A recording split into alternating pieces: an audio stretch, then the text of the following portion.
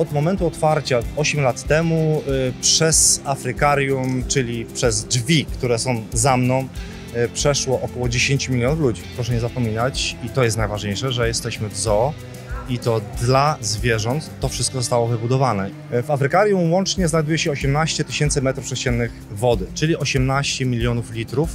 Część tej wody jest w systemach filtracji, w rurach, w pompach, a część jest oczywiście, większa część jest w zbiornikach ekspozycyjnych. Woda przepływa przez e, system filtracji z dużą prędkością, w granicach 600 do 700 metrów sześciennych na godzinę, czyli obrazowo mówiąc, co 10 godzin ta woda w całości jest przepuszczona przez filtrację i jest e, wyklarowana. Zajmuję się hipopotamami nilowymi, manatami karaibskimi i digdikami Kirka.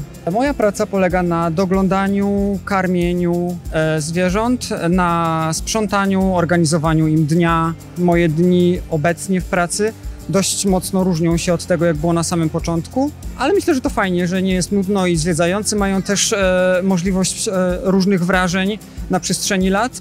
Na przestrzeni 8 lat Afrykarium zmieniało się i zmienia przez cały czas. Zwierząt nam przybywa, z naturalnych powodów także nam ubywa. Y, Są także wymieniane z innymi ogrodami zoologicznymi. Dostosowujemy się do tego, co potrzebują zwiedzający, dostosowujemy się do zmian energetycznych, jakie teraz mają miejsce. Tak naprawdę uczymy się codziennie nowych rzeczy.